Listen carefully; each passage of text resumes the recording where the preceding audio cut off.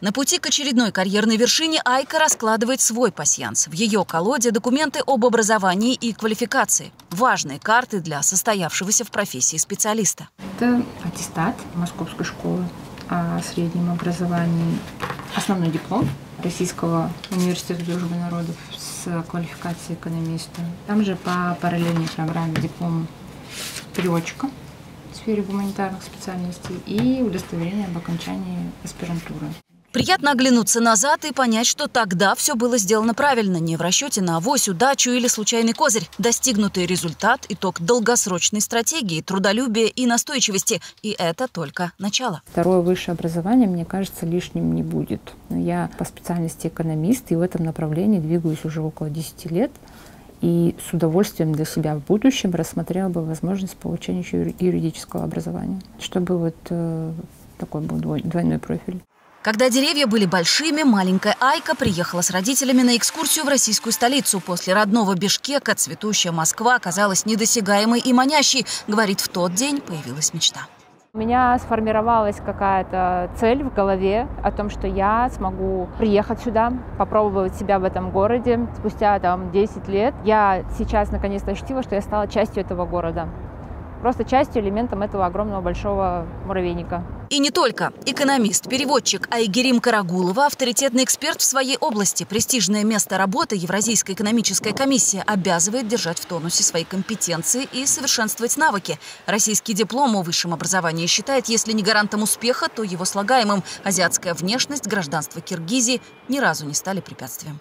Закончив универ и начиная свою карьеру, в поисках своих возможностей я ходила на интервью, на собеседование и никогда не сталкивалась с каким-то предвзятым отношением из-за моей национальности. Я всегда чувствовала отношение как к специалисту. Мне задавали очень много вопросов по поводу моего образования, каких-то моих скажем, современным языком, скиллов, которые я умею, того, что я знаю, и оценивали меня именно как кандидата на какую-то должность, независимо от нации. Здоровые амбиции и потенциал дочери-школьницы вовремя заметили родители. Воспитанные в СССР, они убедили Айку сделать ставку на российский вуз и заранее начать углубленную подготовку. Я поступила в другую школу, которая реализовала программу двойного аттестата вместе с э, российской школой, вместе с московской школой. Надо было год отучиться э, по двум программам и в итоге получить аттестат э, московской школы и бишкекской школы.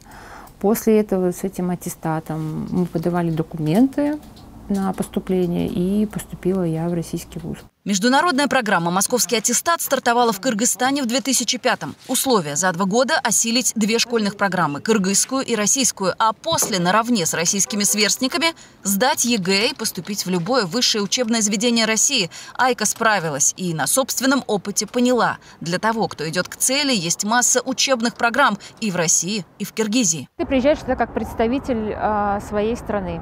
Стояла задача э, не просто поступить и учиться, а взять максимум возможностей из этого всего и показать себя и свою малую родину с лучшей стороны. Десять лет Айка живет и работает в Москве. Город, давший столько возможностей, стал почти родным.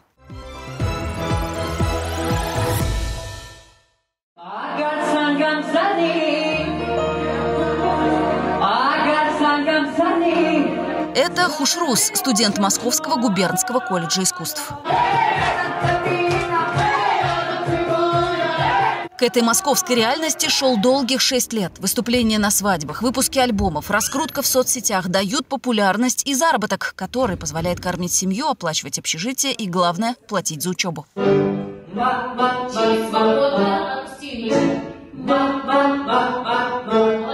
за годы, что гражданин Таджикистана Хушрус Бахтуваршоев живет в Москве, на родине мог бы быть звездой номер один, а еще получить высшее образование в консерватории Душанбе и работать по специальности. Но тот, кто в 10 лет покорил сердца соотечественников, быстро понял, что для таланта не существует границ, а значит, рано останавливаться на достигнутом.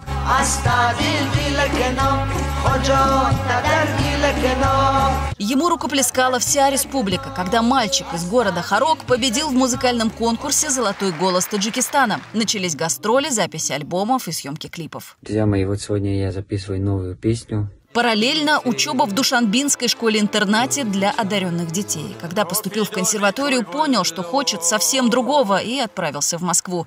Не зная русского языка, 18-летний парень рванул практически в никуда. Я сказал, что я поеду в Россию учиться, мне там очень нравится, там люди свободные, то есть одеваются как хотят. Каждый говорил, тебя никто не возьмет там, во-первых, ты не знаешь язык, во-вторых, Москва слезам не верит. Два года я работал, и на мойку работал, на стройка, везде работал, везде, везде, вот где сказали, там деньги дают, я пошел туда и работать, несмотря на то, что столько лет я пел. Заработанные деньги отправлял домой, болел папа. Потом начал копить на образование. Как бы тяжело ни приходилось, об отъезде домой не было и речи. Страна большая, город возможность, развиваться тут больше.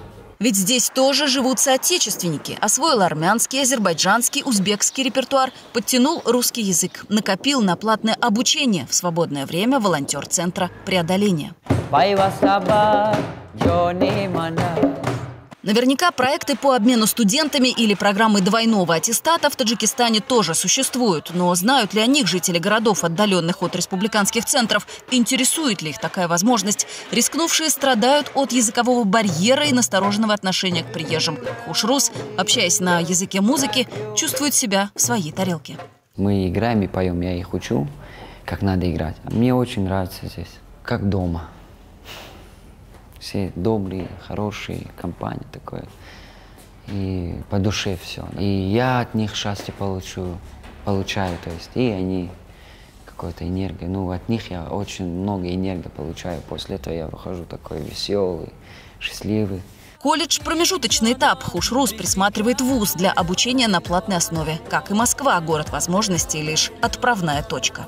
Меня смотрит Турция, Россия, Душамбе, Кыргызстан, Казахстан, США. У меня есть земляки в Германии. Они хотят сейчас мне устроить концерт в Германии. Есть в Канаде. У нас есть там связи, то есть они мне звонят. Давай. Вы хотите покорить мир? Да, я хочу. Пускай хочется,